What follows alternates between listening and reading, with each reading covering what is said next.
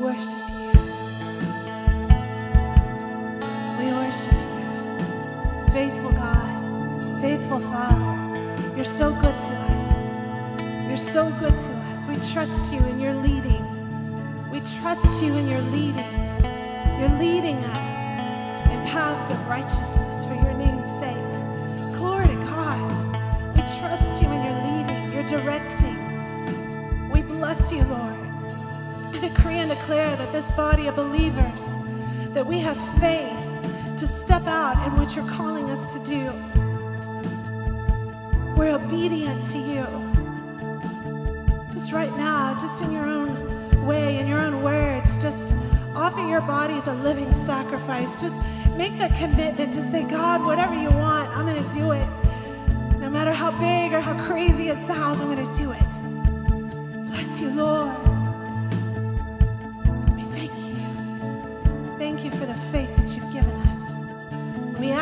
That faith this morning.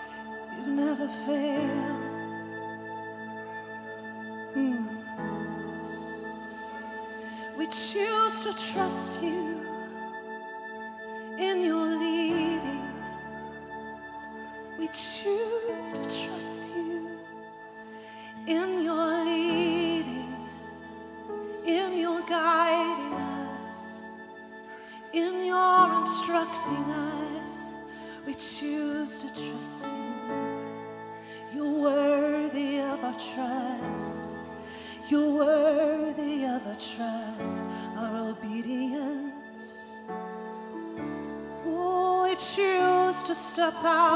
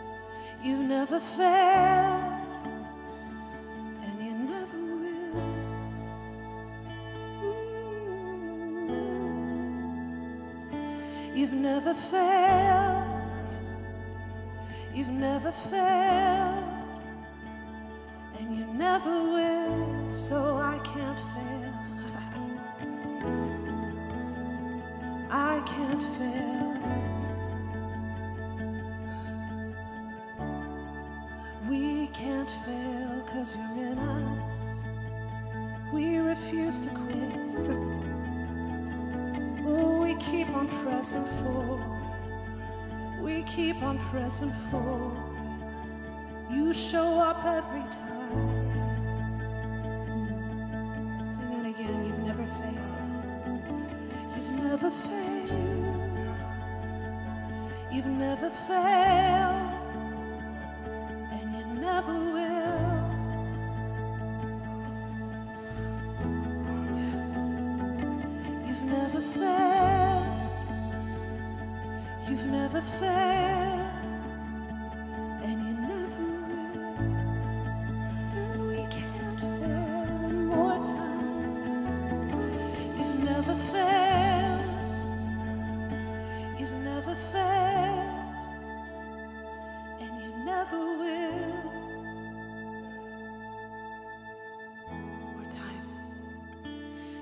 never failed. You've never failed, and you never will. Just you, just voices. You've never failed. You've never failed, and you never will. Oh, sing it one more time. You've never failed. You've never failed. You've never failed.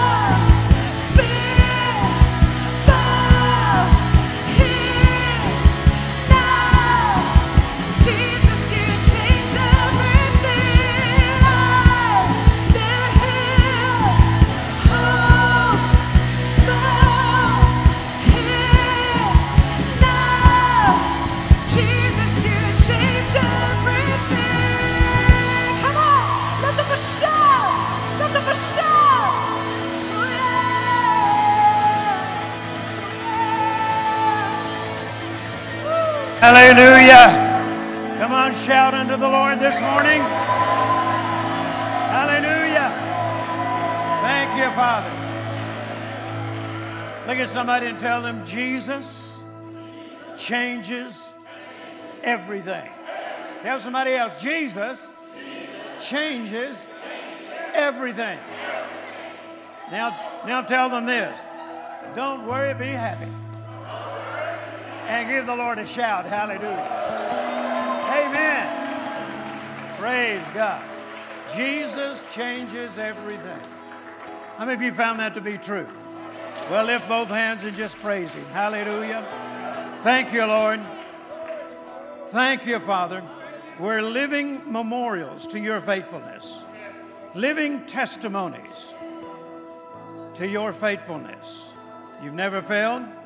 Not one word you've ever spoken has ever failed.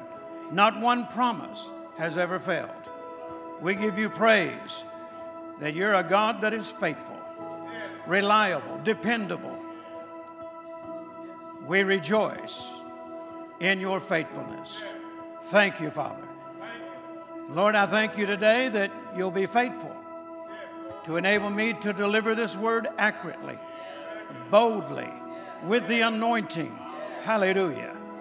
And as the anointing flows in this place, it removes every yoke of bondage, sets every captive free.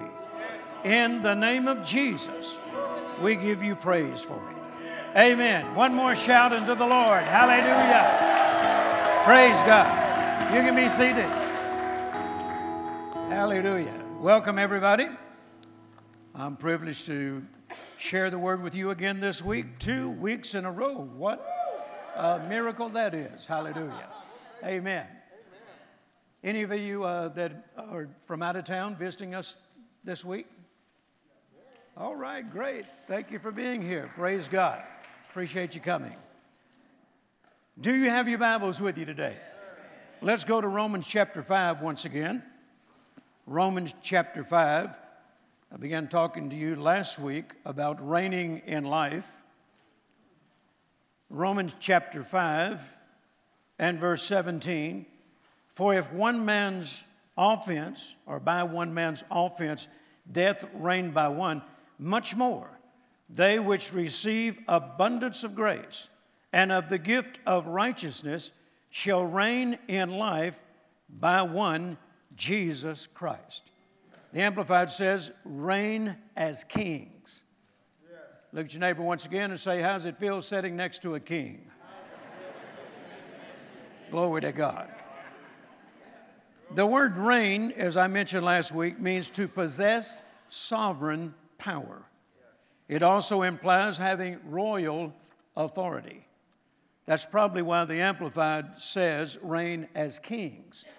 When we're talking about royalty, we're talking about sovereign power, it, it comes to mind kings and the way that they live and they exercise sovereign power, royal authority. The contemporary English Bible says, live and rule as kings. Yes. Rule as kings, praise God. If we are truly reigning as kings, then it sounds like to me that Satan has absolutely no authority over us whatsoever.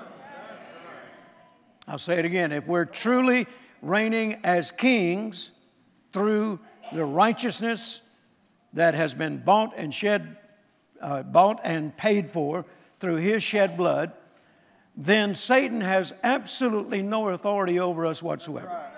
None. None. Any authority he's exercising over you, you allowed him to do it. That's right. Thank you for your enthusiasm. If you're in bondage, you've allowed him to put you there. Amen. You are the one with authority. You're the one with the power. You're the one with the dominion. And you have to learn to exercise it. The New Living Translation says we are to live in triumph over sin and death. No wonder Paul says in Romans 6 14, for sin shall not have dominion over you. Tell somebody these words Satan can't make me do anything that I don't want to do. I have royal authority over him. Now, that, that comes as a great revelation to most people. Satan can't make you do anything you don't want to do. Somebody said, Well, I committed adultery, but I didn't really want to do it. Yes, you did. well, I slipped and drank a fifth of whiskey last week. I didn't really want to do it. Yes, you did. I cheated on my wife. I didn't want to do it. Yes, you did. Satan can't make you do anything you don't want to do. The Bible says in the book of James, a man is drawn away and tempted of his own lust. You had the thought in your mind, just waiting for the opportunity to fulfill it. You didn't quite in this church. Sin shall have no dominion over you. So Satan can't make you do anything that you don't want to do. You have royal authority over him. The New Living Translation says, Sin is no longer your master. Sin is no longer your master. Well, if that's true, and it is, then why don't you take authority over whatever sin you might have in your life right now? Amen. Well, if you're too embarrassed, do it when you get home. But don't, don't go another day without taking authority over it. You have authority over it. Paul makes it very clear that we've been made free by the blood of Jesus. However, he also says in Galatians chapter 5 and verse 1 Stand fast, therefore, in the liberty wherewith Christ hath made us free. I'm already free. I've been made free by the blood of Jesus. That took place 2,000 years ago. But I'm the one who has to enforce it. Stand fast in the liberty wherewith Christ has made us free. Standing fast is our responsibility. Notice the understood subject of the sentence is you stand fast. And also, notice once again that it says, goes on to say, and be not entangled again with the yoke of bondage. So even though you've been made free, and that freedom took place 2,000 years ago, you can get entangled again with bondage. Yes, sir. Yes, sir. Amen. Amen. You would have to allow it. Can you say amen? amen. Is this too deep? Be not entangled again with the yoke of bondage. So, my responsibility is to stand fast in that freedom. Jesus has already done his part. Now it's up to us to do our part. He bought and paid for our freedom, and now we must enforce it. Look at it this way you're already free. Now it's your responsibility to maintain that freedom, to protect that freedom. Amen. That's why he went on to say, once again, and be not entangled with the yoke of bondage, implying that it is possible to become entangled in bondage again, even after you've been made free. Amen. You know, I, have heard testimonies many times of people that got delivered of smoking. And, you know, they went quite some time of not smoking. And then, you know, they wound up yielding to that temptation and began smoking again. And it became even harder to get free of it the next time. People that, you know, drink and they got delivered. And, you know, they slipped, wind up drinking, and, uh, you know, and it got harder to break that habit again. Yeah. But notice, you have to allow it. Yes, sir. Amen. Amen. Amen. You have to allow it. You have to yield to it. You don't have to, but you're the one who yields to it. You have two choices yield or take authority over it. Amen. Yield or take authority over it. Can you say amen? This really is a good sermon, praise God. Now, it's possible to become entangled again with the yoke of bondage. Let me ask you this who is he writing to? The world? He's writing to Christians. Brother Jerry, a Christian can be entangled again with a yoke of bondage? Apparently so. He's writing to Christians. Amen. Amen. All through this letter, he, he, he refers to the people he's writing to, brethren. Yeah. Brethren, you, that, that means you're part of the body of Christ. You're a child of God. And so he is saying that it is possible for believers to get entangled again with the yoke of bondage. But they don't have to. They can stand fast in the liberty wherewith Christ has set them free. How? By exercising their authority over it. Now, the New Living Translation says, now make sure that you stay free. Make sure that you stay free.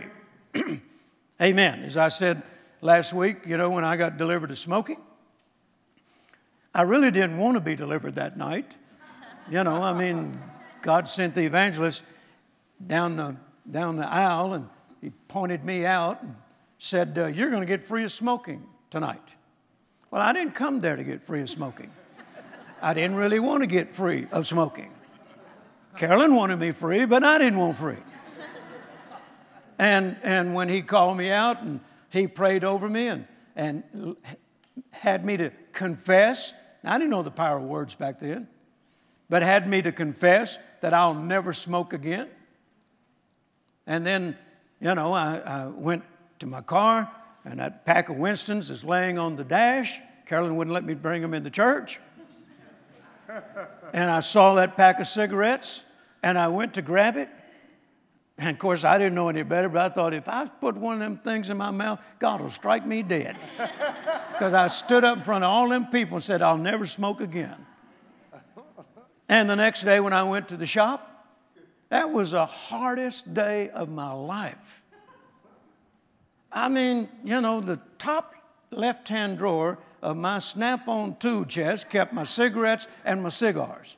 I didn't think you could work on a car without a cigarette hanging out of your mouth.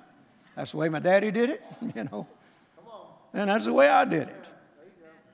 And I told you last week how that this guy that, that had worked for my dad and now he's working with me, he never had cigarettes. From as long as I remember, he always borrowed cigarettes from my daddy. I always told him, I'll pay you back. And then he started borrowing them from me when I started smoking. I always said, and I'll pay you back. This went on for years. I remember him saying that when I was a little boy to my daddy. Now I'm grown, you know, and, and he's borrowing cigarettes from me. That day, the night after I got delivered of smoking, that day, he brought a box this big with cartons of cigarettes and said, uh, Bubba, I've come to pay you back. Here's all the cigarettes I bummed off you all, this, all these years, and your daddy too. I said, Ariel, where'd you get it? He said, You don't want to know. I thought, Isn't that? Well, I didn't know back then. I didn't know it was the devil, you know. I mean, the devil was setting me up. I got delivered the night before. And there, that carton of cigarettes, or that box full of cartons of cigarettes, is sitting by my tool chest. And every time I'd get up from you know, doing something on that card, walk over my tool chest, get another tool, and uh, I'd see those cigarettes. And every once in a while, I'd reach for that top drawer and I'd shut it. Because I thought, I thought God will strike me and everybody in this, in this building dead if I put one of them things in my mouth. I got so desperate before the day was up, lighting a torch looked good. if I could have figured out a way to light that screwdriver up, I'd have smoked the end of it. You know? But I got I made it through the day. Now I really wasn't serving the Lord. I wasn't sold out to God at that time. But I made it through the day. Now I could have yielded. Several times I could have yielded. But I didn't.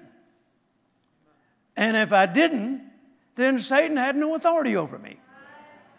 And I made it through that day And I got up the next morning, and the desire was gone, the temptation of it was gone, and that was a long, long time ago, over 48 years ago.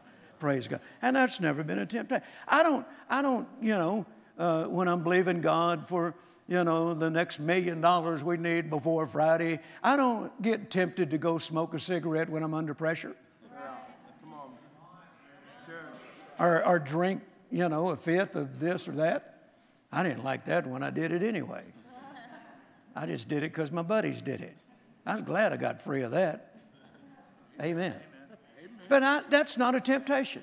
The devil never comes to me when I'm under pressure, you know, believing for financial breakthroughs.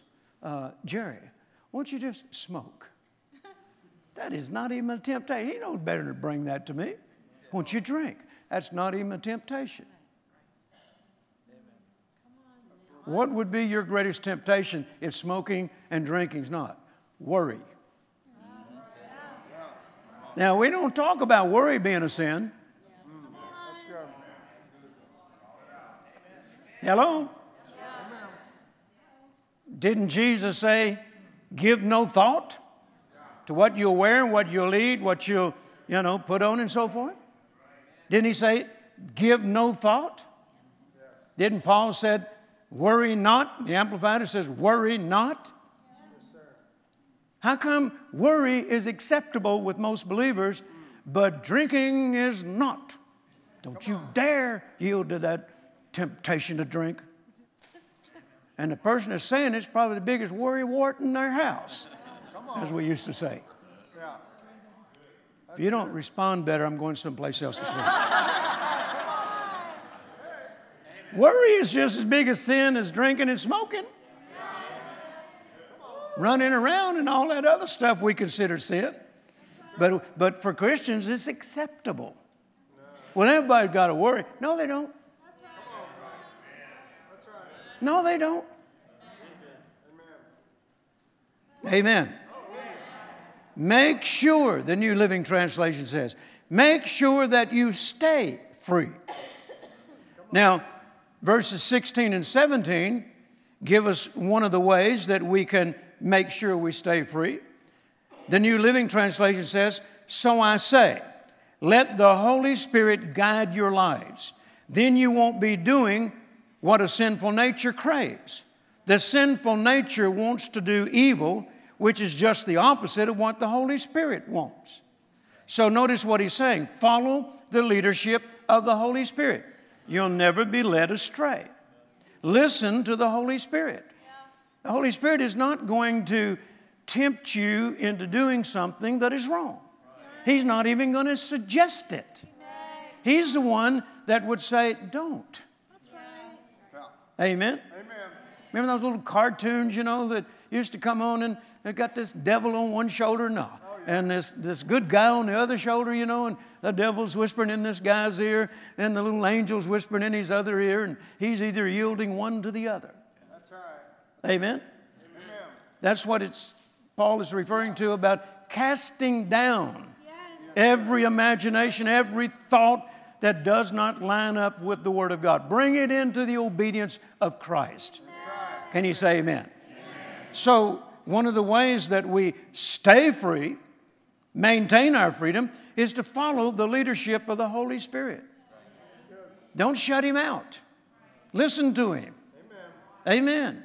He, he, he always gives you a way out of this.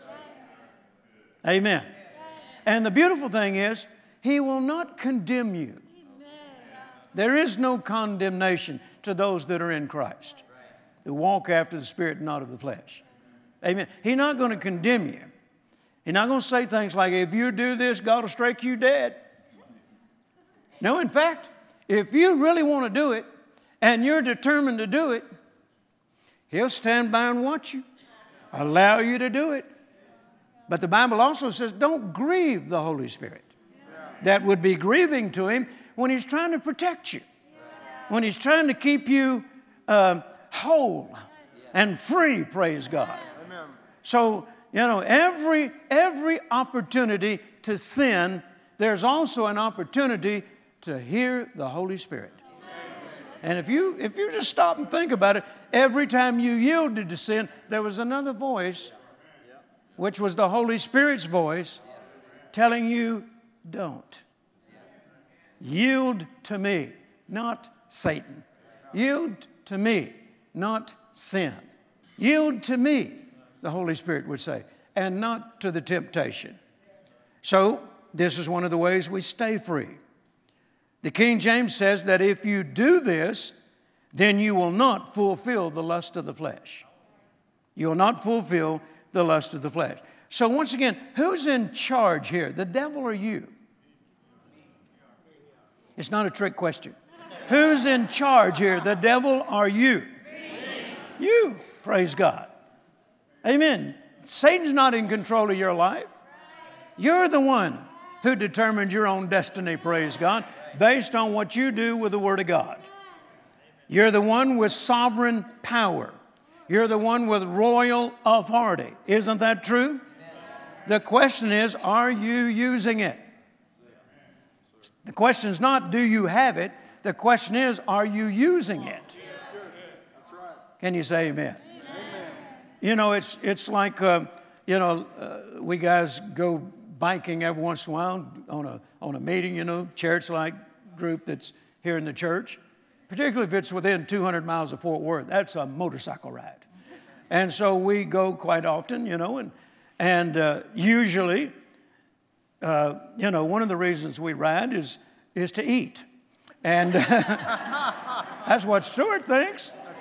And so, uh, one of, we, we always stop at a, you know, a familiar place that we like and so forth, and we eat.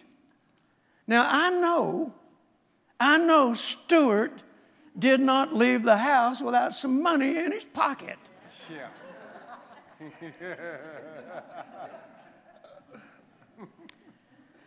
and I know Tony don't leave the house without money in his pocket. Yeah. So it's not a question of do they have some money in their pocket. Yeah. The question is, will they use it?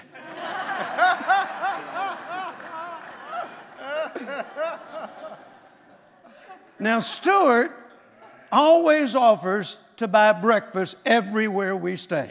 Every hotel we stay in, he offers, boys, I got breakfast in the morning. But he knows it's free.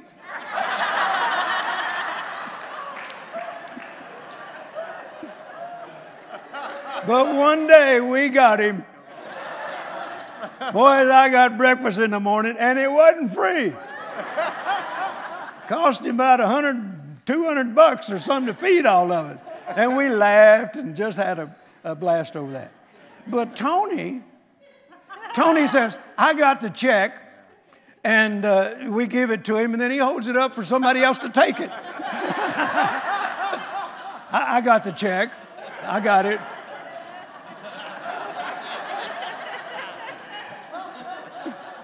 It's not a question of whether they got the money, well, they use it. Yeah. It's not a question of whether you have the authority. Are you using it? You don't just go around the devil and say, I got authority. You got to use it. Can you say amen? amen? Tony said that's right. Praise God. We're hard on, on each other, praise God. But we love each other, praise God. Amen. So it's not a matter of whether or not we have the authority. We do. The Bible is very clear about that. Make no mistake, you are the one with the authority. You're the one with the dominion. You're the one with the sovereign power, royal authority. You're to reign as a king in life. But are you exercising that power? Are you exercising that authority? That authority? Can you say amen? Quit asking God to set you free.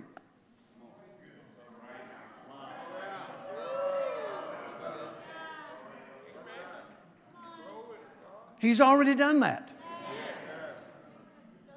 John 8 36 says, If the Son therefore shall make you free, you shall be free indeed. Well, did he do it? Did Calvary work? Did his blood work? Did his death and resurrection work? Then you're free.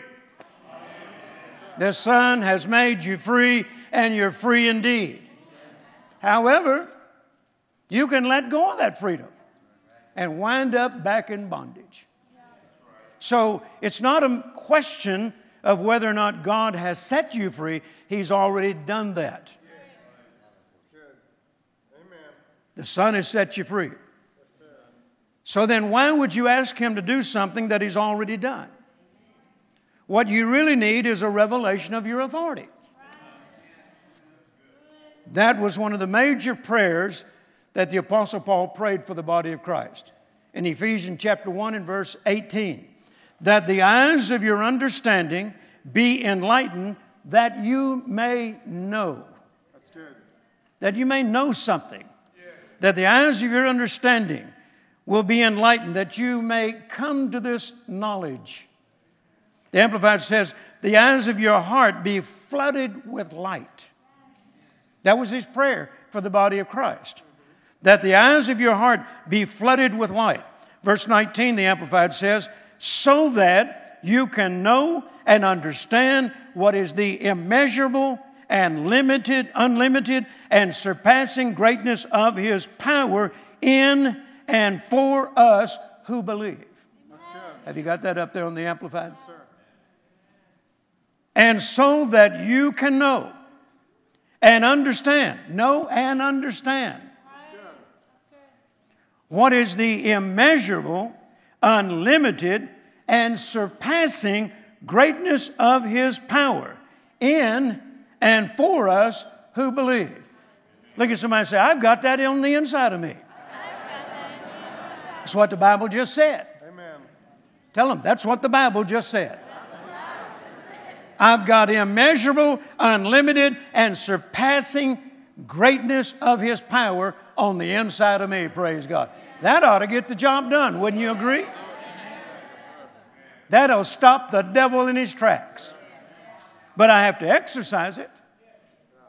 Can you say amen? Are you a believer? Say, I'm a believer. Then this power is in you right now. Not when you get to heaven, it's in you right now. The question is, are you exercising any of it? It's like uh, someone said to Brother Hagin one time, Brother Hagin, I've got all the faith in the world. He said, That's your problem. You still got it. You're not using any of it. Come on. You're not exercising any of it. You've got all the power, the authority that is necessary to keep the devil off your back, to keep him out of your life, praise God. But are you exercising it? You're not helpless, you're not powerless, and you're not limited in any way. And you're supposed to be reigning in life. Tell somebody, I'm supposed to be reigning in life. Now, the Bible wouldn't tell us that if it wasn't possible. We are to reign in life. Hallelujah. One uh, commentary says that we are to be firm and unwavering in our stand against the adversary. Firm and unwavering in our stand against the adversary. How would you respond if a thief broke into your house and you had the means to stop him? Blow him up. I pity the fool that would break into Kenny's house.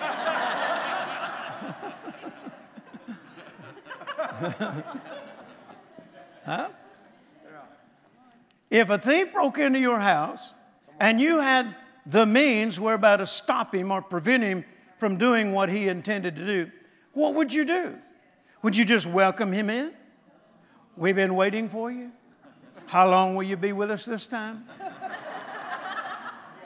what would you like? Would you like for me to help you carry it out? That is not what you do, not if you're smart. If you've got the means, you know, John Wayne says gun control is a steady aim.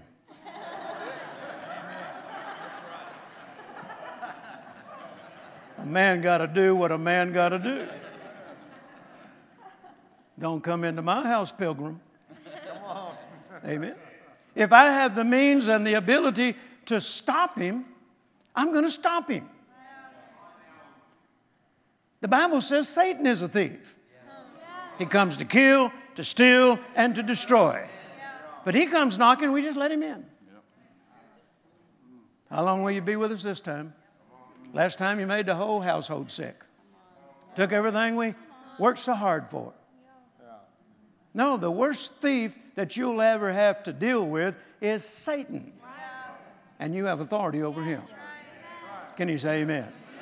You have authority over him. Why would you let him come through your house, tear up everything, break everything, steal everything, destroy your kids, destroy your life? Why would you just sit by and allow that to happen when you have dominion over him? Hallelujah. I, I, I, really have a problem with a thief. I just don't like a thief.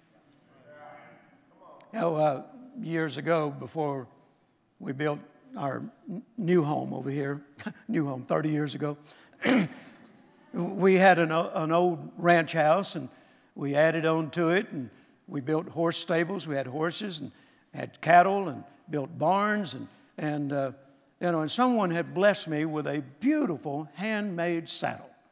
Oh, it's beautiful. And I had this, this horse that was given to me. I had him since he was six months old. His name was Jubilee. And uh, he was part uh, Mustang and part quarter horse. Very spirited, good looking horse. Oh, that horse was beautiful. And uh, someone had given me, made me this beautiful saddle for him. And after I'd had him broken and began riding him, you know, I didn't break him, I let somebody else break him. And uh, I began riding him. Man, he was, oh, he was muscular. He was good looking, you know, and it was, it was just fun to ride him.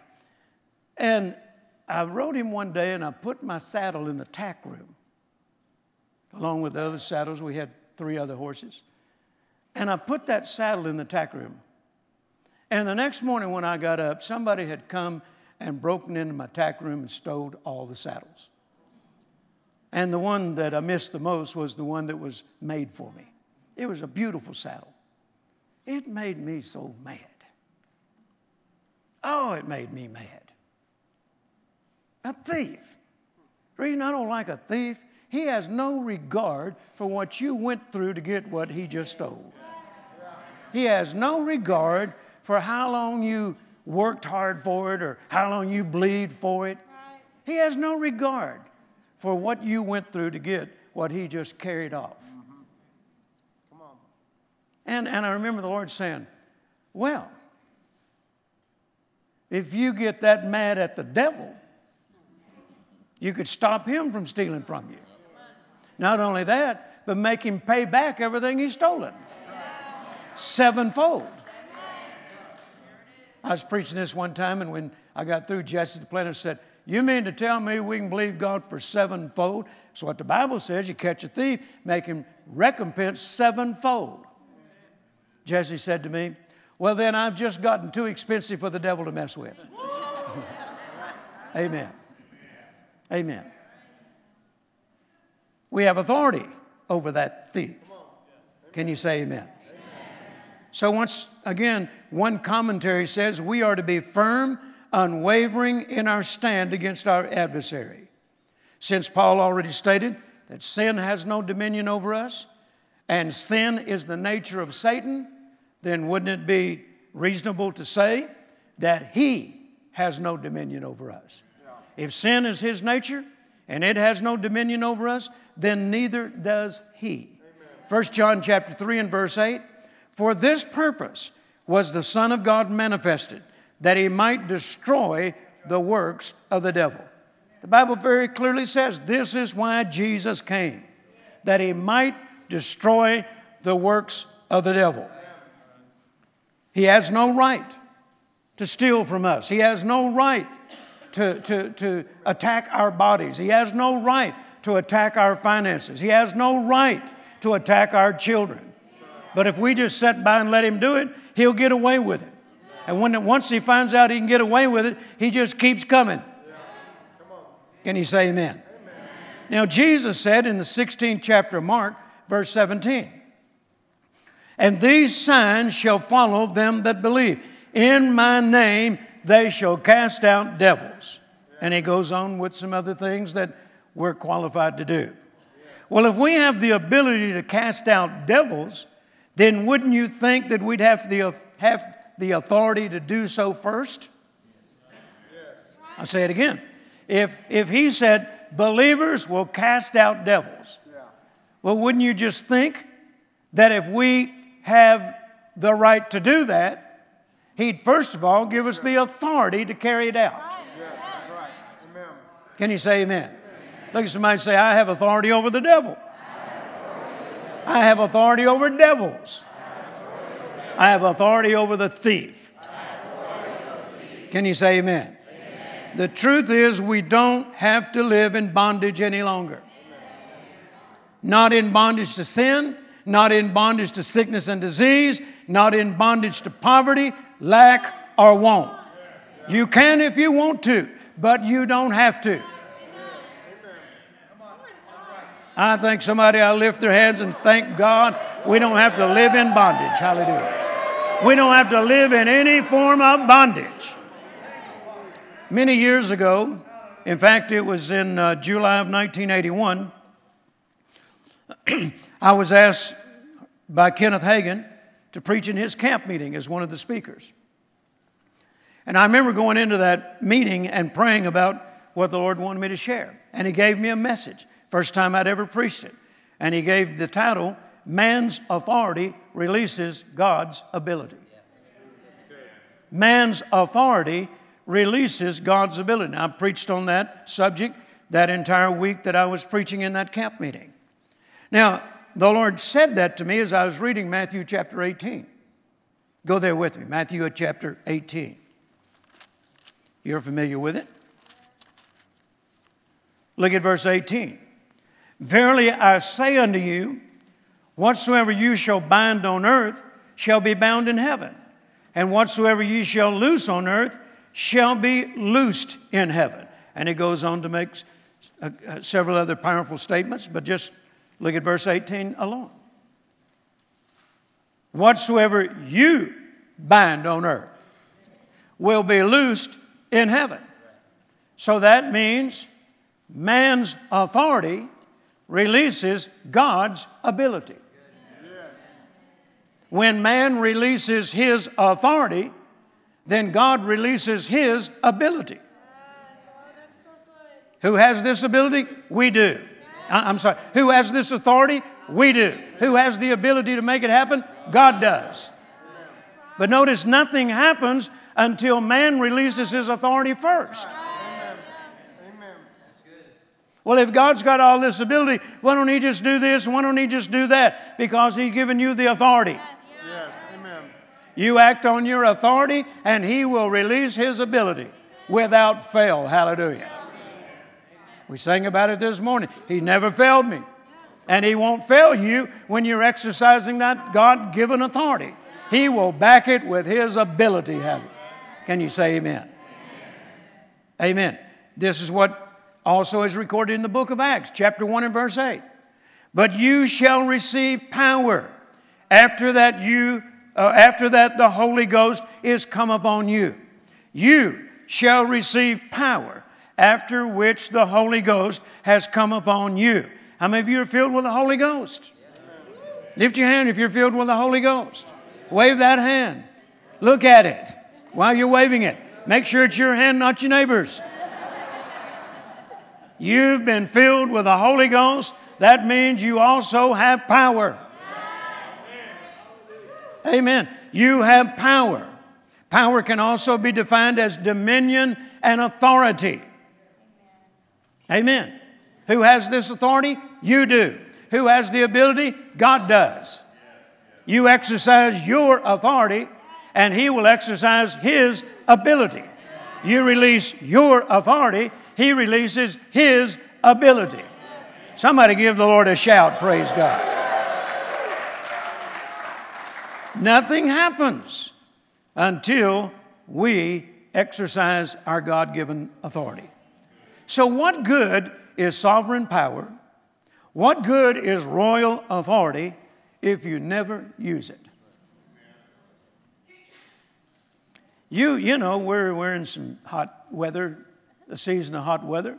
Uh, you know, it's been over 100 a few days uh, already. And you can sit in your house and sweat like a mule, owning an air conditioner. But if you don't turn it on, you're going to sit there and sweat. I don't know why it's so hot in this house. I do. You didn't turn the AC on. Amen. You do your part, and God will do His part. You don't have to sit there and sweat all day. You can turn the AC on, praise God, and be cool. Amen. You do your part, and God will do His part. Amen. So, having all this power and authority does you absolutely no good if you never exercise it. Say this with me I release my authority, God releases His ability. Tell somebody, I release my authority, God releases His ability. Isn't that how Peter and John got the lame man at the gate called Beautiful healed? Go with me to Acts chapter 3 and let's make sure.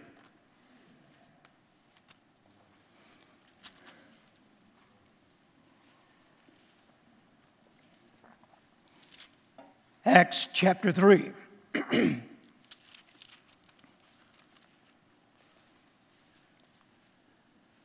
now, excuse me, now Peter and John went up together in the temple at the house of prayer, or the hour of prayer, being the ninth hour. See, I'm having to exercise my authority right now. See, when they, when they ran that breathing apparatus down my throat, they scarred my vocal cords. And every time I get up to preach, I have to exercise my God given authority. Because in the natural, it's not easy. But I'm determined in the name of Jesus to recover 100%. Amen. And a certain man, lame from his mother's womb, was carried, whom they laid at the gate of the temple, which is called Beautiful he goes on to say he saw Peter and John about to go into the temple and he asked alms. And Peter, fastening his eyes upon him with John, said, Look on us. Now, this is implying that he's about to exercise his authority. Look on us. He said, Now, silver and gold have I none, but such as I have give I thee. Now, don't make a religion out of silver and gold have I none. He didn't say, I've never had any, I'll never have any. He just happened to not have any that day. Every once in a while, I have uh, no silver and gold on me. I got plastic, hallelujah. Now, Peter didn't have an account with Chase Bank, didn't have a credit card. But don't make some religion out of it. The disciples were poor. Silver and gold had he none. Not at the moment. Yeah. And that's what the guy was asking for arms. But he got legs.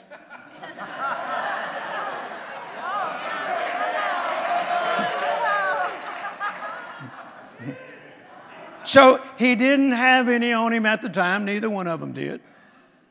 But they didn't say, We don't have anything. We can't help you. He said, Silver and gold have I none, but such as I have, give I thee. What was it he had? Authority, dominion, royal authority, sovereign power. Hallelujah. And he said, In the name of Jesus Christ of Nazareth, rise up and walk. Notice that was the authority that Peter had. That was the authority that John had. That was the authority that the disciples had. That's the same authority that you and I have, praise God. Can you say amen? I was uh, uh, in a restaurant, in a steak and ale restaurant years ago, And I had been to Indianapolis to the Indy 500. And after the race, uh, my host were taking me to a restaurant, Steak and Ale restaurant, to have dinner. Then I was going to fly home. And we're sitting in that restaurant, you know, my guy won the race that day. I was happy. You know, we're talking about things that happened during the race and so forth. And, and, you know, not really at that point doing anything spiritual. We're just eating our meal. We're just talking about the race and so forth. And they would ask me, Are you coming again next year? And, and, and all that. And all of a sudden, this couple walked past our table, and the man just fell right in the floor into a hard seizure. And he's just shaking violently. And I, I looked up at Walt and Pam, and I said, The devil's crazy. I learned that from Norval Hayes. The devil's crazy, I tell you. That's what Norval used to say. I don't know how many times that's happened to me. People fall in my presence in a hard seizure. And the devil ought to know by now what I'm going to do. I've done it on airplanes, I've done it in restaurants. And this guy fell in the floor in a hard seizure, shaking violently. And so I got up and I knelt over him and I did exactly what Peter did. In the name of Jesus of Nazareth, whose I am and whom I serve. I command you, devil, to loose this man and to let him go. Come out of him. And he shook one more time and looked at me and said, What'd you do? I said, I took authority over that devil that's tormenting you. I helped him up. He and his wife thanked me, and they walked out. And you ought to have seen everybody in there. Nobody walked by my table anymore. I had it happen in the streets downtown Omaha, Nebraska, when I was still working with Brother Copeland. Between meetings, between services, he preached at 10, uh, 2, and 7.30 every night. And between services, I'd go out in the streets and witness all day. And I'm downtown after a morning service, Omaha, Nebraska, and, and I'm out witnessing and praying for people. And I'm on my way back to the hotel. And just as I started back to, I could see the hotel just about a block away. And I heard cars coming to a, a sudden stop, brakes, you know, squealing, and, and, uh, and people getting out of their cars. And I don't know what's happened. I can't see what happened. So I gather, I walk up there, and I, and I kind of look over the crowd, people are out looking, and there was a guy, had a hard seizure, laying in the middle of the street. Cars had to slam on their brakes to keep from hitting him. And he's laying in the middle of the street, and he's shaking violently, and everybody's just looking. And I looked around, and I noticed some of the people in that crowd just looking were people that were coming to that meeting. Had Bibles under their arms. They'd been out for lunch. They's going back to the service. And so the Lord said, What are you going to do? And so I just kind of uh, asked people to, to spread out a little bit, let me come through. And so I got down on, the, on my knees, laying there next to him, or uh, stand on my knees next to him.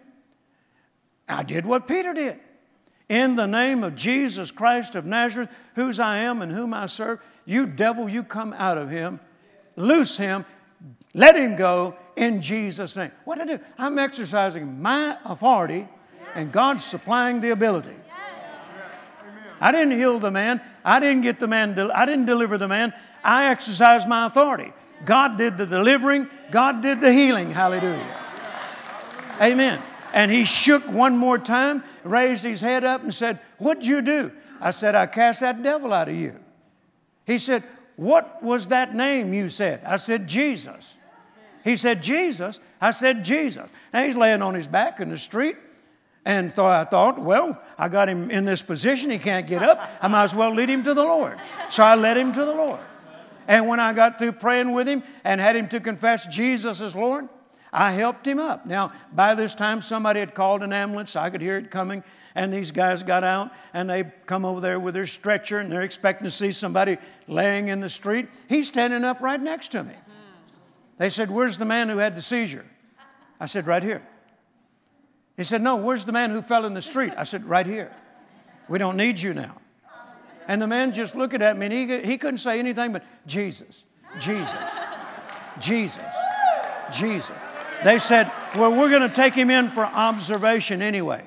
So they put him on this gurney, you know, and they put him up in the ambulance. And I'm standing there watching him, and I saw him raise up and put his face across, in the window in the back of that ambulance. And I, I couldn't hear him, but I could read his lips Jesus, Jesus, Jesus. Amen. He got set free. I'm not the healer, I'm not the deliverer. I'm the one with the authority. Jesus gave it to me. And if I release my authority, He releases His ability, praise God. Jesus gets all the credit. Can you say amen? He's the one that delivered him. But notice that man could have stayed in the street, laying there shaking violently, with all these believers standing around. And I overheard some of them saying, I wish there was something we could do. That's the worst thing a believer can say. We have the ability to release our God given authority. There is something we can do, praise God. And if we release our God given authority, God promises that He will release His ability.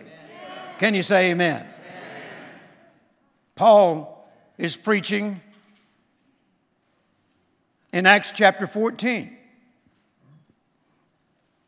And there was a man who was crippled. And Paul said, with a loud voice, Stand upright on thy feet. What's he doing? Exercising his authority. Stand up on your feet. And he leaped and he walked. Paul released his authority, and God released his ability. Can you say amen? amen. That's how you reign in life. Amen. That's how you rule and reign in life. Don't sit back and allow the devil to continue to steal from you, continue to torment you, torment your children. We have authority. I said, We have authority. Just like Peter released his authority, just like Paul released his authority, God came through and released his ability. This is how we reign in life. If you never release or exercise your God given authority, then it's not likely that you will ever reign in life. The old religious idea, we're just waiting on God, doesn't apply here. We're just waiting on God. No, He's waiting on us. He's waiting on us. James chapter 4, verse 7 says, Resist the devil, and he will flee from you. Who's doing the resisting? We are. Who's backing it? God is. Amen? We're not just waiting on God. He's waiting on us to exercise and release our authority. And when we do, then He will back it with His ability, praise God. I'll say it again. We have sovereign power, we have royal authority, and we're supposed to be reigning in life. If anybody agrees, shout amen. amen. Now, Romans 5:17 from the Phillips translation says that we should live all our lives as kings. Not just occasionally, not just every once in a while, not just after we get inspired after hearing Brother Jerry preach or Brother Justin preach. All our lives. Say, I'm to reign as a king all my life. Wouldn't you agree that kings live good lives? They live good lives. They live prosperous lives. Amen. It's like that Roman soldier, that centurion that said to Jesus one time, I tell a man do this and he does it. I tell a man to come, he comes. That's, that's authority. Yes, sir.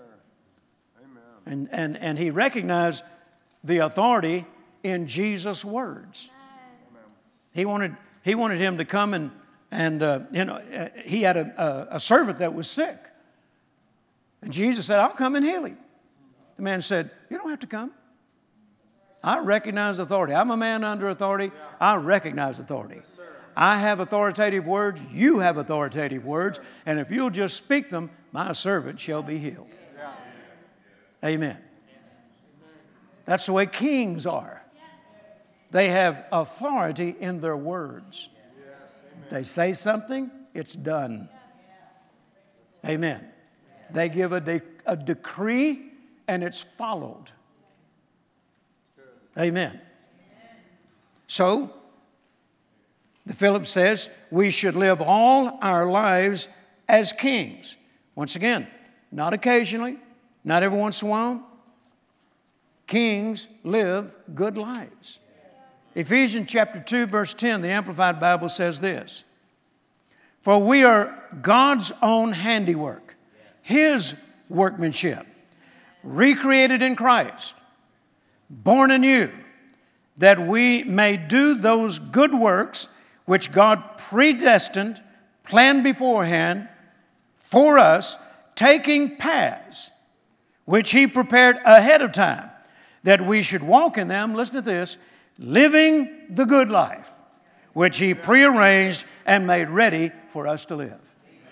Notice, He's already prearranged, put that back up there, the good life. Amen. He's already prearranged the good life. And it's ours for the receiving. That sounds like reigning. Amen. Reigning as kings, living the good life, which He prearranged and made ready for us to live. You know, you, you don't ever tap into that good life that He's prearranged and made ready for you until you have revelation of it. Yes. And you know, revelation has a way of creating a revolution. Yes. Amen. You get a revelation of who you are in Christ, you will start a revolution in your house. You get a revelation of what you can do in Christ, you'll start a revolution in your house. You get a revelation of what you can have, and you will start a revolution in your house. I started that revolution 48 years ago, praise God. Amen. And it's still working, by the way. Hallelujah. I like ruling and reigning over Satan and all of his cohorts.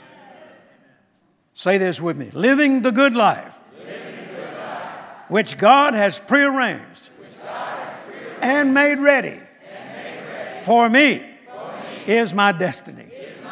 Say it again living the good life, which God has prearranged and made ready for me, is my destiny. Give the Lord a good praise for it. Amen. Hallelujah. Listen to this. The Bible says in 1 Corinthians chapter 2 and verse 9, the Amplified Version, what eye has not seen, and ear has not heard, and has not entered into the heart of man, all that God has prearranged, made, and keeps ready for those who love Him. My eyes have not seen yet. My ears have not heard yet. My heart has not conceived yet all the things that God has prepared for me. Hallelujah. That sounds like a good life, doesn't it? The good life, praise God. You know, uh, I learned a long time ago to not say this phrase anymore. It doesn't get any better than this. Yes, it does. I, I learned it on a motorcycle tour. Remember that, Bill, uh, George? We were riding along in Colorado. Man, I'm telling you, it's a beautiful ride. Colorado was made for bikers. And we're riding through Colorado, and I'm telling you, it's just, it's just around every curve, it gets more and more beautiful. And we're riding around there. We got about, what, 60 bikers with us or something. We're riding around there. And Bill Horn, our director for Chariots of Light, he pulled up beside me. He said, Brother Jerry, it don't get any better than this. And I said, Yeah, that's right. And, and then I pulled ahead of him a little bit. And the Lord said, Don't you ever say that again. I backed up. I said, Bill, it gets a whole lot better than this. This is just the beginning. Come on. This is day one on the tour. What do you suppose we got to look forward to the rest of the week? Amen. As good as your life might be right now, it gets better than that. I said it gets better than that. And when you think you have reached the, the, the, the, the top, it gets better than that. Hallelujah. Can you say amen? You know, Carol and I would have never dreamed when we first started out that we'd be living the kind of life we live today. And we give all the, all the glory to God. If it wasn't for Him, I wouldn't be able to share this testimony with you. But we're living a good life. A good life. Praise God. A good life. Amen. And, and, and I learned about it through the Word of God by revelation and then became a doer of it. And it didn't all happen overnight. No, I, we didn't start living the good life outwardly the first time I read this. Amen. We, didn't, we had hardly anything at the time I read this. I was out hunting Coke bottles to, to, to trade in to buy milk for my babies when I first read this. But I hadn't had to do that in a long, long time. Hallelujah. Amen. Living the good life. And God's no respecter of persons. Amen. You're supposed to reign as a king just as much as I am. Isn't that right? Aren't you one of the righteous? Say, I'm one of the righteous. So I have the opportunity to reign as a king. But you're not gonna you're not gonna live that way if you keep feeling sorry for yourself and keep uh, blaming everybody else and, and keep on saying nothing ever works for me and you know that's good for brother jerry but you know who am i? Like somebody said to me one time well how's that going to work for that little mechanic? I said hey i was that little mechanic and it worked for me praise god i was a nobody Hardly anybody knew I existed but mom and daddy and Carolyn and her mom and daddy and my sister and her sister and a few relatives. That's it. How's it going to work for me? But I discovered it. I held fast to it. I kept pressing for it. And zowie, it happened, praise God. Can you say amen? amen? Hallelujah. Don't make excuses, just get on with the program. He has prearranged and made ready for you to live the good life. I like to say it this way we have yet to tap into all the things that God has prepared for us. It's ready and it's waiting for us to possess it. Proverbs 13 22. The wealth of the sinner is laid up for the just. The wealth of the sinner is laid up for the just. That's one of those things he's prepared and made ready, keeps and makes ready for us. I discovered that scripture many years ago. In fact, before I ever moved here, before I ever went to work Brother Copeland, I discovered that scripture years ago. And I'd been witnessing to a man that I had, I had met, I was actually in the National Guard with. And uh, uh, we, were, we were going on uh, tour, and we're riding in the back of a deuce and a half truck going to Fort Polk, Louisiana. And he's asking me about my testimony. He knew I'd come to the Lord and I was preparing for full time ministry. And he's talking to me about, you know, this, that, and the other. And he says, Well, how do you live? I said, By faith. He said, But you mean you trust God? Yes. But, but how do you pay for things? I said, Well, I believe God. Well, how does it come? I said, Well, sometimes He'll send somebody, even though I'd shut my shop down, my business down, He'll send somebody and they just want me to work on their car. I don't have my shop anymore, but I can do it in my carport and I'll work on their car and they'll pay me and we pay our bills. And sometimes uh, my father in law calls on me and asks me to come out and help him on a job. He was a builder. I didn't know one thing about building houses, but I'd go help him and, and he'd bless me.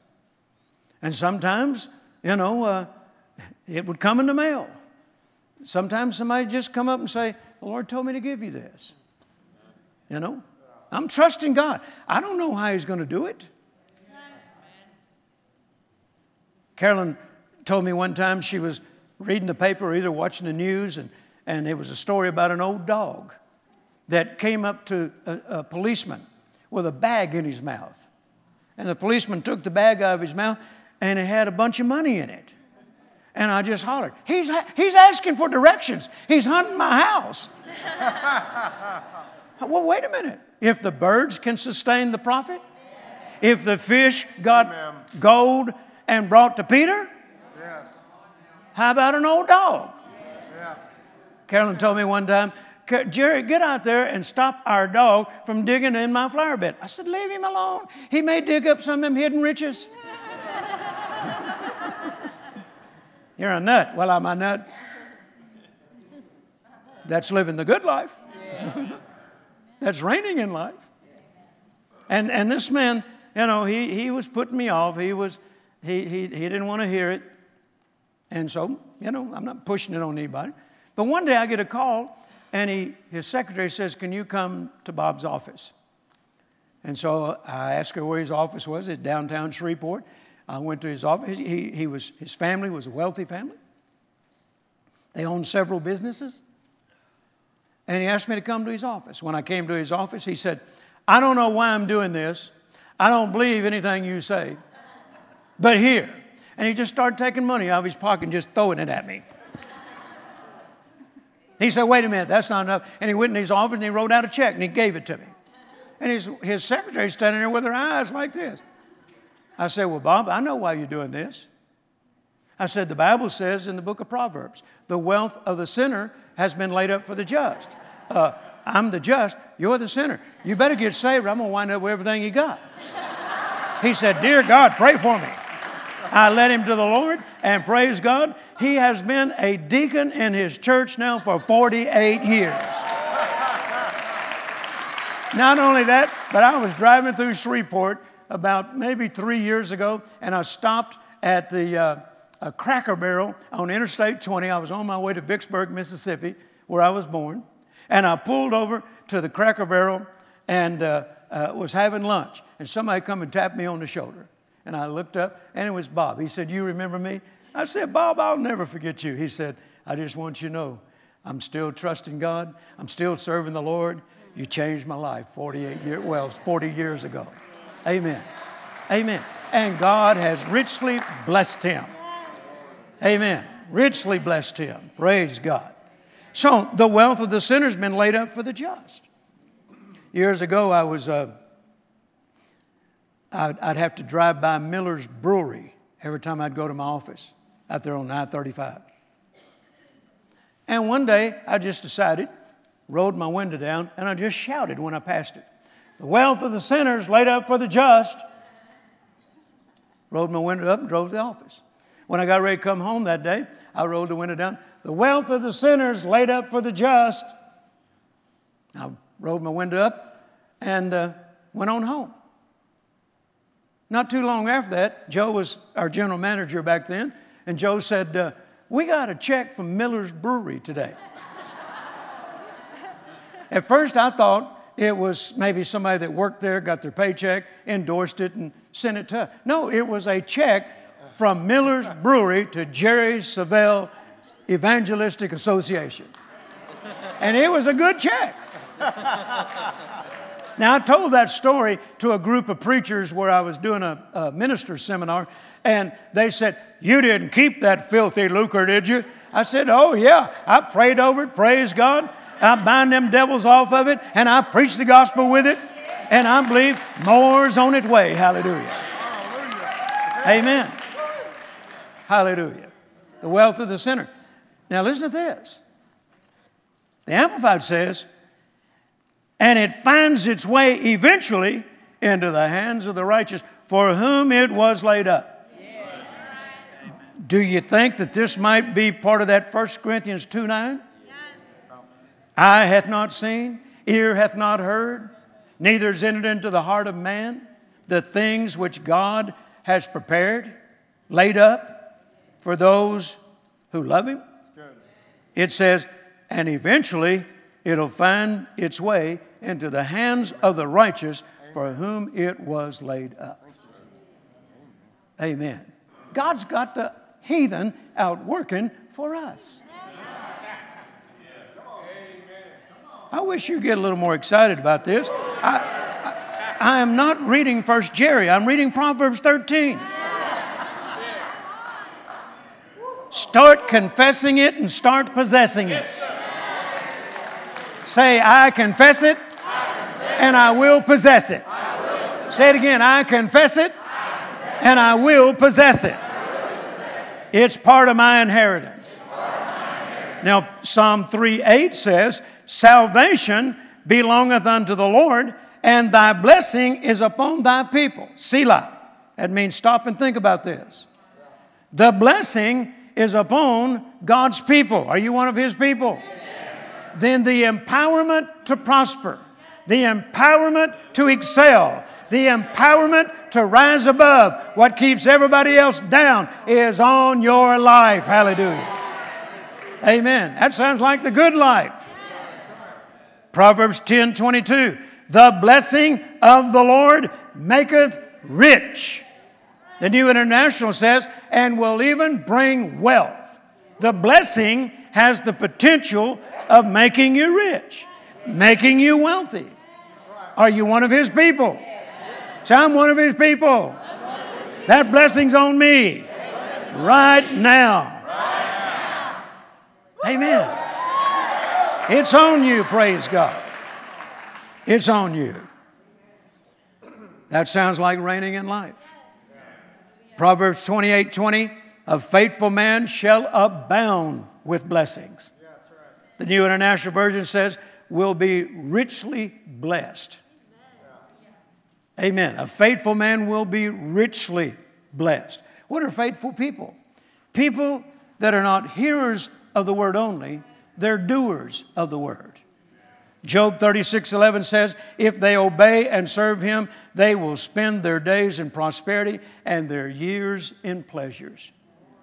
The New Living Translation says, If they listen and obey, they will be blessed with prosperity throughout their lives. Hallelujah. Hallelujah. Throughout your life.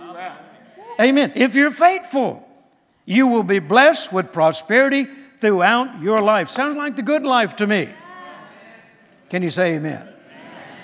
If you aren't enjoying this, then there's only two reasons, biblical reasons why not.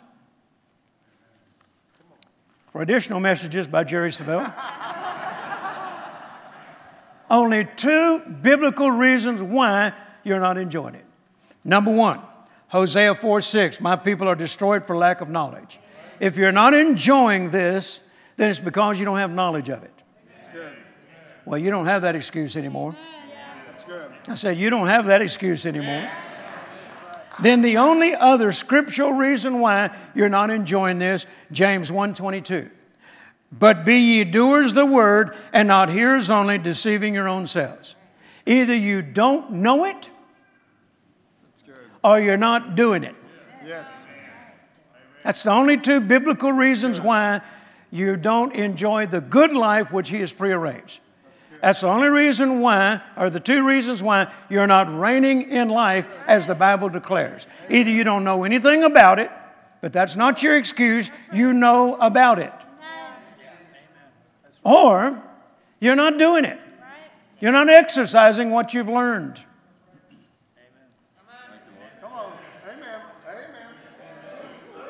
God has made it possible for every person in this room, everybody that's watching this broadcast, to reign in life. But it's our responsibility to believe it, to receive it, and to enforce it. Can you say amen? amen? Now, all of this sounds like to me flourishing. The faithful shall flourish ruling, reigning, good life, Sounds like to me flourishing. God's got in his heart. God's got on his mind for you and I to flourish. Can you say amen? That's our word from the Lord this year. Don't let it pass you by. Lay hold upon it in the name of Jesus and tell the devil there's absolutely no way you can stop it from happening. Praise God. Give the Lord a shout if you receive it. Praise God. Hallelujah. Amen. I, am doing everything I possibly can to help you get there. I preach sermons about it week after week when I'm here. I preach sermons about it. When I'm not here, I preach it all over the world. People are hearing me preach on flourishing all over the world. Yeah. Amen. Writing books about it, the faithful shall flourish. Right. Brand new, hot off the press, praise God. We sold out of these the first day at the convention. Yeah. Had to go restock. Hallelujah. This is what I've been teaching here. The faithful shall flourish. Praise God. Who'd like this book? oh. Amen. And here's another great book, The Power of the Blood. We've been trying to get Carolyn to write this for a long, long time. This was one of the subjects she taught in the Bible school. It was, it was one of the most favorite subjects of our students. Every time she would teach it, praise God, the power of the blood. Oh, that hand went up before everybody else's did. There you go. Hallelujah. Amen. These resources are for your benefit. I don't need to write them for my benefit. I know this. I write them for your benefit. We preach them for your benefit. I don't preach anything that's not working for me already before I preach it. Hallelujah. So take advantage of the resources. Get it in your home, get it in your heart. Hallelujah. And determine from this day forward no devil is going to keep me from reigning. No devil is going to keep me from ruling. No devil is going to keep me from flourishing. I'm the one with royal authority. I'm the one with sovereign power. Hallelujah. Can you say amen? amen? Give the Lord your best shout. Praise God. Stand to your feet. Hallelujah. Go ahead and stand if you will. Thank you, Father. Thank you, Father. Could the praise and worship team come back for a moment? Hallelujah. I want you to just lift your hands and begin to worship the Lord and thank Him for what you've learned today. For some of you, it's just been a refresher course. Praise God. Hallelujah. Thank you, Father. I know there's other things we need to do here, but I, I would miss the Lord if I just if I just let you go and not, not do this. Thank you, Father. Thank you, Father. I've sensed in my spirit by the things that I said earlier that the Lord wanted me to agree with you, assist you in taking authority over some habits that have kept you bound. I'm not going to voice them, but you know what they are. Some, some of you are tormented by them. Some of you, you're, you're, you're not living the freedom in the freedom that Jesus bought and paid for. So I want you to come. You got habits, and particularly long standing habits. Come on up here right now. Let's take authority over it. In the name of Jesus. Let's, let's get everybody in here in agreement. They don't have to know what it is. That's not important. You know what it is. God knows what it is. And you have authority over it. And where any two of us shall agree as touching anything we ask, it shall be done. Say, it shall be done. So, are you expecting it to be done today? Hallelujah. Thank you, Father. Everybody in here, you stretch your hands out toward them. Let's believe God with them. If it was you, you'd want somebody in agreement for you. Hallelujah. Thank you, Father. in the name of Jesus. Lord, as a servant of the Most High God, I take dominion and authority. I release the sovereign power that you have granted me with as a believer. I joined my faith with theirs. They came up this morning indicating they want to be free once and for all. Not for a season, not for a while, but once and for all. I have the authority, and they have the authority to do this. You have the ability to make it happen. So, as we release our authority, we're counting on you, Lord, to release your ability. In the name of Jesus. Everybody just begin to pray in the Spirit. Thank you, Father. I take authority over this in the name of Jesus. I take authority over this in the name of Jesus. You begin to praise Him. I take authority over this in the name of Jesus. Now I'm expecting your freedom. You expect your freedom. I take authority over this in the name of Jesus. Satan, you bow. You have no right. You have no power. In Jesus' name, I take authority over this. In the name of Jesus, it's broken. No longer able to torment you, bind you, render you helpless. That'll not be a part of your life anymore. In the name of Jesus. Thank you, Father. I take authority over this and I join my faith with His freedom. Jesus' mighty name. All that is not of the Holy Spirit, bow, depart, leave now in Jesus' name. Hallelujah. Come on, let's lift our hands and let's continue to worship Him. Jesus' name. I take authority over this. Take authority over this in the name of Jesus. You're free. Stand fast in that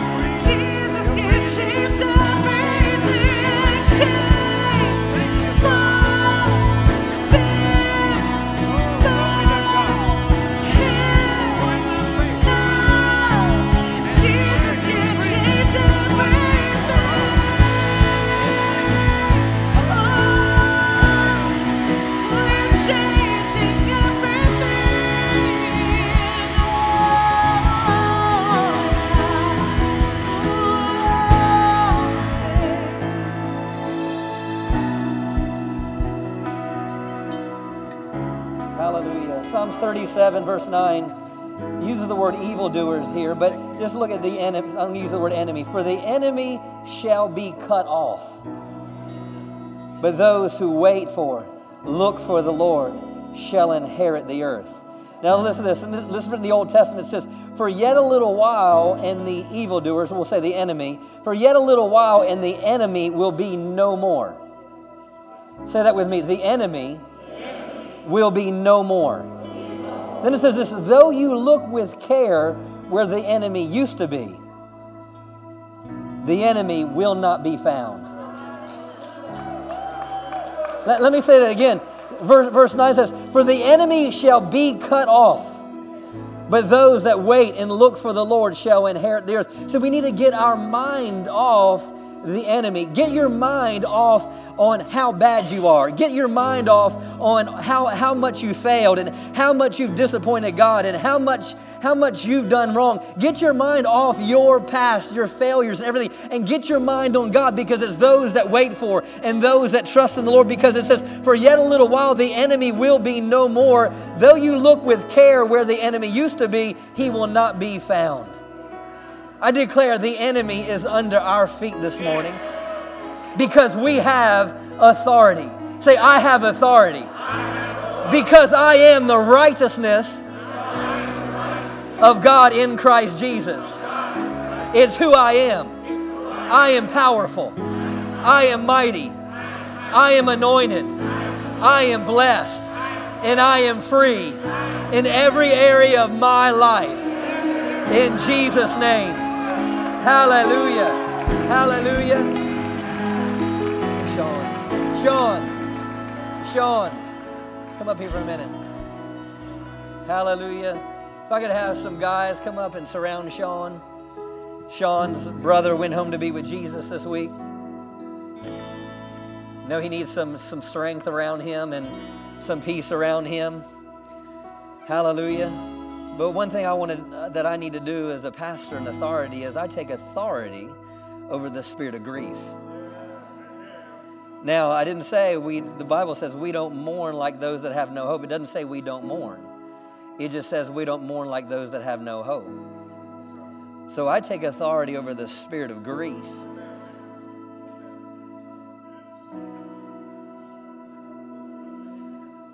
I command the peace of God to flow over you from the top of your head to the soles of your feet. I declare the anointing is going to walk through, walk you through this. I declare right now, just receive it. That the anointing is all over you. The anointing is all over. Just receive. Just lift your hands to Him, to heaven, Sean. And stop taking the blame that you could have done something more. Stop taking the blame. Yeah, the enemy is trying. Yeah, the enemy has even plagued you that maybe if you were a little more holy, you could have got him healed. Maybe if you were a little more powerful, a little more close to Jesus, you could have done something different about it. I take authority over the enemy that would put you in a place of shame, in a place of defeat in Jesus' name, and I declare freedom over you in Jesus' name.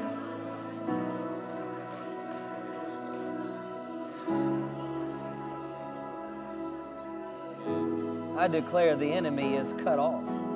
And I declare a new day. A new day has dawned. The day spring on high has visited us.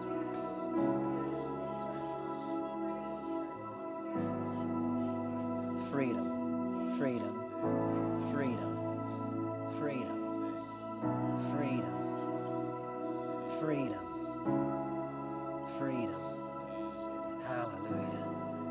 Hallelujah, hallelujah, hallelujah. Hallelujah, hallelujah. The enemy is under our feet. I just heard this phrase come up on the inside of my heart look up and live. Look up and live. Look up, look up, look up and live. Hallelujah. See, what is looking down represents failure. It represents defeat. It represents, you know, a lot of times, you know, you can tell when people have defeat on them, they'll walk into a room and just their heads down. Maybe nothing wrong, but but sometimes the enemy would just plague us that. We just we walk into a room and don't allow the enemy to defeat you any longer. because you are. You are just what you ought to be. You are righteous. Hallelujah. It's not in a prideful way. When you walk into a room, you own the room. Why? Because God's on the inside of you. You carry God in there with you. When you go to work, you carry God there with you. When, when, you, when, you're, when you're in your house, don't allow your children or your, the enemy to make you feel defeated or in fear. No, you have authority in your home. You have authority everywhere you go. Because God's on the inside of you. God's on the inside of you. And he is defeated, and the enemy is cut off, and it says that it says the meek shall inherit the earth. What is a, good definition for meek? A lot of times people say, well, it's just those that they're quiet. No, you know what the, the greatest definition I ever heard of the word meek is? Perfect power and perfect control. The meek, shall those that are in perfect power and perfect control, walk in the fullness of what God called them to. And that's who you and I are. Look to your neighbor and say, I'm the meek. And I, I inherit the earth. Look to your other side and say, I have perfect power and I'm in perfect control and I inherit the earth. Give him a shout of praise. Amen. Hallelujah. Thank you, Lord. Hallelujah. Thank you, Jesus. Thank you, Father. God is good. Amen. You can go ahead and be seated for a moment. We have a few things. Just bear with us with, I know it's uh, close, close to 12, but I have a few things we need to do today. You always want to be, be obedient to what the Holy Spirit wants to do, right? Hallelujah. It's not hurry up and get church done. It's, it's let's make sure we're, God has his way. Amen. Amen. Amen.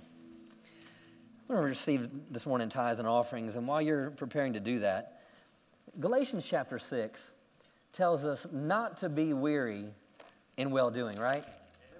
Let me go there real quick. Ephesians 6 says, Be not deceived, God is mocked, not mocked, for whatsoever a man sows, that shall he also reap.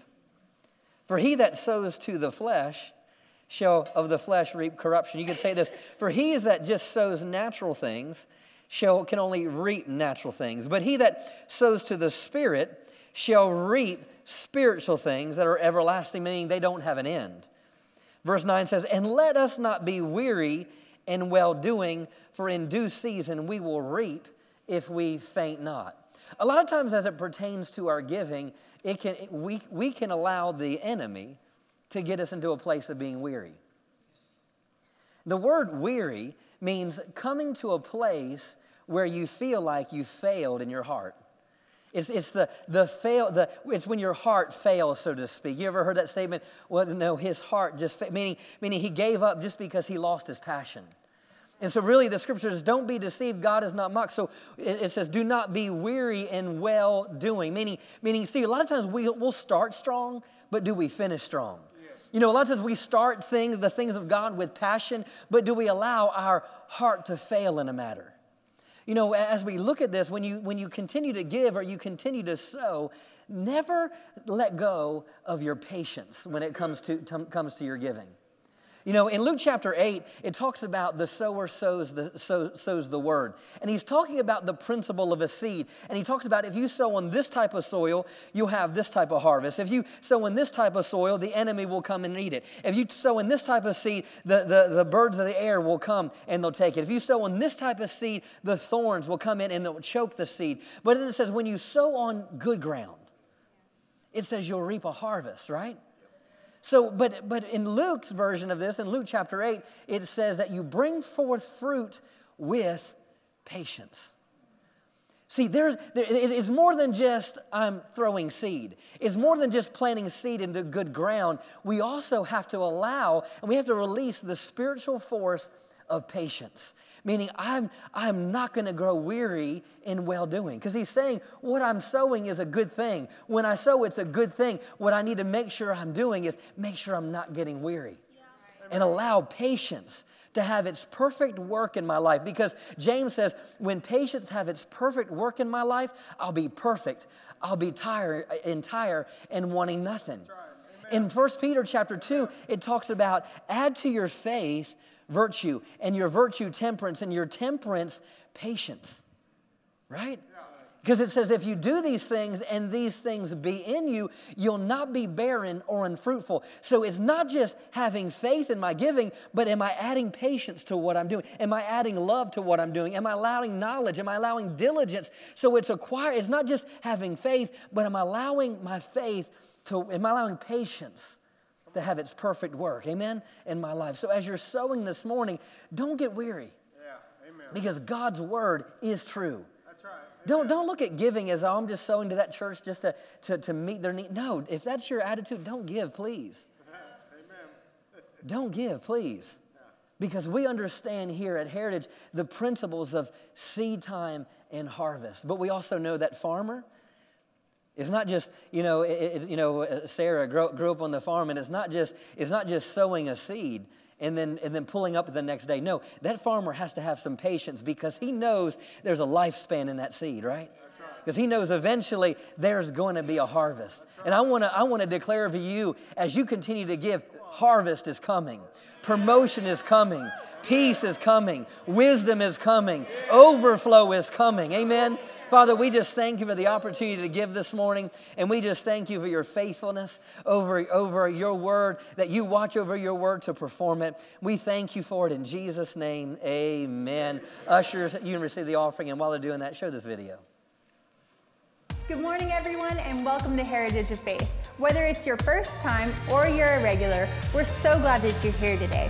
Every week, our expectancy levels rise for what God has in store.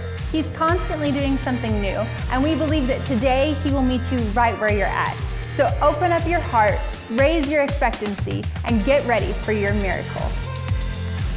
Ladies, what were some of your favorite memories growing up as a little girl? Was it dressing up like a princess or learning how to bake yummy snacks? Or my personal favorite, pajama, pajama, pajama.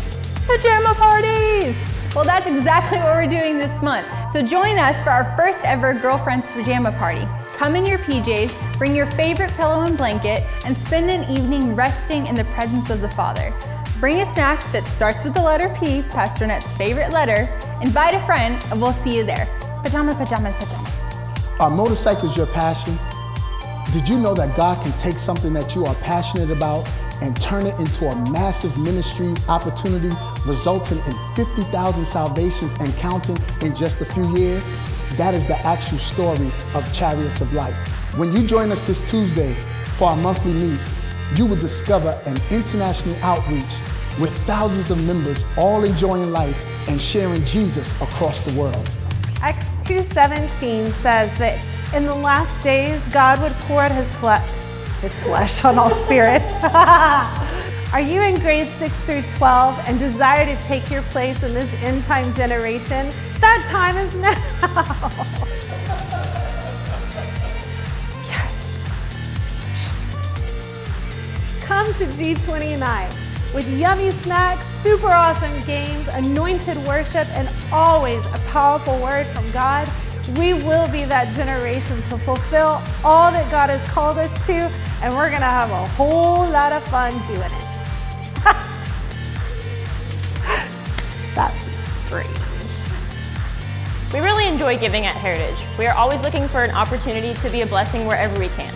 In July, our women's ministry will be collecting school supplies for the Cleburne Family Crisis Center. You can find a list of the supplies in the lobby. In July, our women's ministry will be collecting school supplies. Why? This is the easiest one, Emily. You can find a list of the school supplies needed and a drop box for any donations made in the lobby. Are you new to our Heritage family? We are so excited to have you with us today. See this card? You can find it in the seat back in front of you.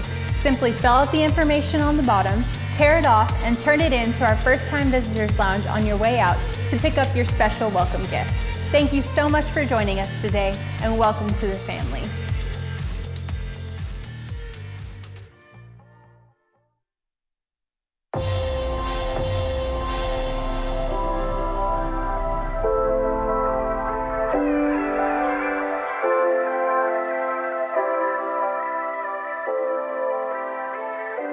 I am a minister. I am a minister. I'm a minister. I'm a minister. I am a minister. I am a minister. I'm a minister of the gospel.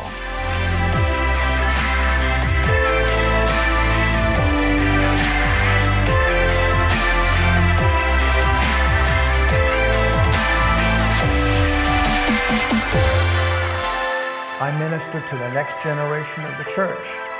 The next pastors, our future worship leaders, teachers, and missionaries. I minister to the next generation of world leaders.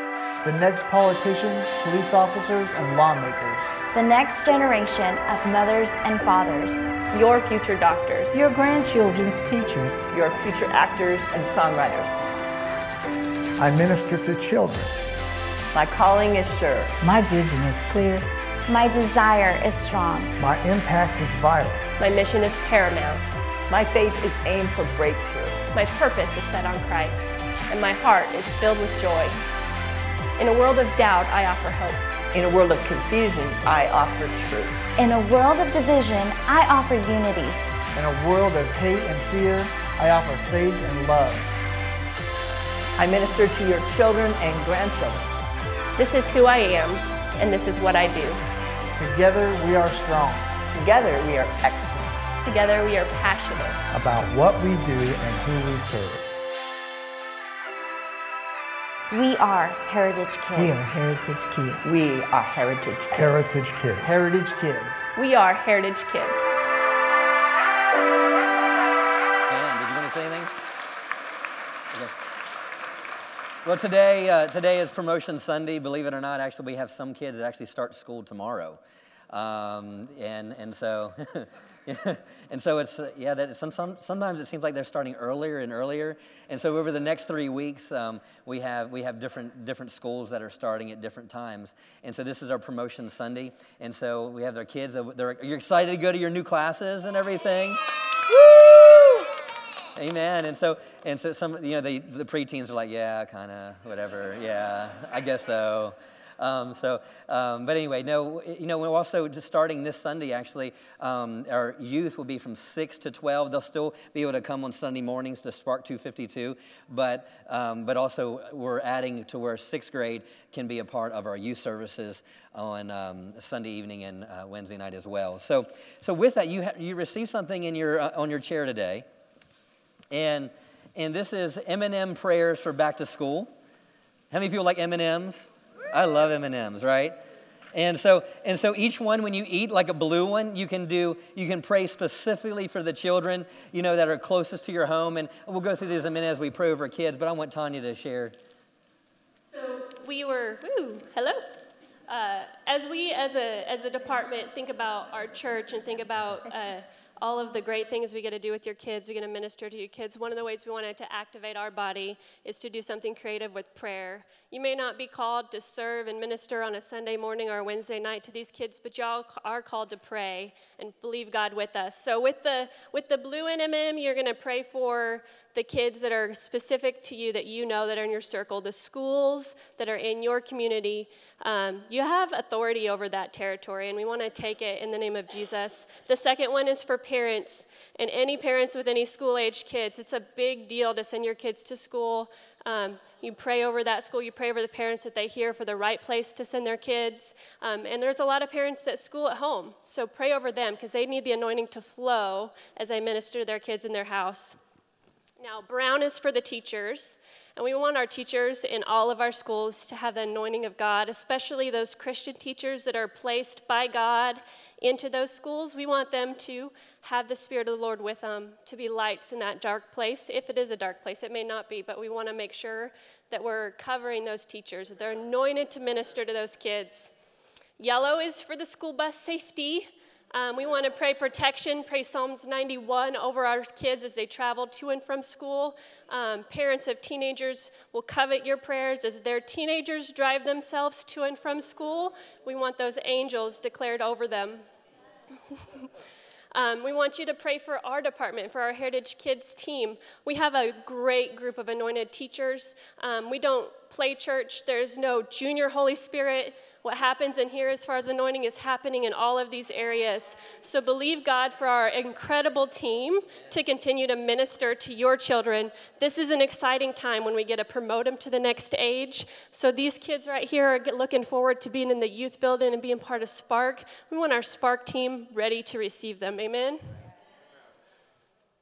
And red is for uh, administrators, any employees of the school, the principals. We know that in this generation, we need to stand in prayer behind them and supporting our Christian administrators, the teachers, down to the janitors, the cafeteria staff. If they're born again believer, they're put there by God to be in those places to minister to those kids, even if it's just a smile. So, as a body of Christ, we get to be part of what's going on with our kids in this generation. So we're believing for revival. We're believing that the Holy Spirit pours out on them and that we're going to have a fantastic school year. Amen? Yeah. And for all they invest into our young people. And if you serve in, in, in our, our children's departments, any of our children's departments, whether it's zero up through youth, stand to your feet. Amen. Stand, stay standing. And let's, let's, uh, stretch your hands towards all our children and our, and our, and our leaders our volunteers. Father, we just thank you for your hand upon our children as they begin a new school year, Lord. I thank you this new school year, it's a new season, and I thank you, Father, for your hand being upon them as they step into this new season. We thank you for your hand of protection, your hand of peace. I thank you that every single one of them has the exact teacher that they need to have. I thank you that our children and young people are always in the right place at the right time. I thank you, Father, that you have gifted all of our local teachers and our local administrators, Father, with the grace to lead, the grace to direct, the grace to, to be what our children and young people need in, in this year, in this season, Father. I thank you for your hand upon all of our, our young people, volunteers, Father, in here, Lord, that, that, that, that they would be anointed to hear on behalf of our young people in all of their classes, Father, to direct our, our, our, our children's ministries the way they need to be directed. We thank you, Father, that, that we're rising higher and higher in our children's ministries. We thank you, Father, for your peace, your protection, and your power that is not only surrounding but within our young people as they go throughout 2017 and 2018. We thank you for it in Jesus' name. Amen. Amen. Do you have anything else? You good? Yeah. Right after the exchange from uh, coming into Heritage Kids into G29, you parents may have some questions uh, just about how that's going to work. So if you if you have a student that is going into our G29 department, we're going to have a short meeting to you where you can answer any questions that you want right over here in the overflow room right after service. Amen. Everyone okay? stand to your feet. Don't forget, ladies, tomorrow night, girlfriends ministry pajama party tomorrow night at seven. And so wear your pajamas and bring a pea food, right? It's a food that starts with P, something like that. So anyway, she's going to continue. Uh, and you don't want to miss it. She's been preparing for that. It's been an awesome time. Other than that, we love you guys. Have an all super awesome week, and we'll see you Wednesday night. God bless. Yes.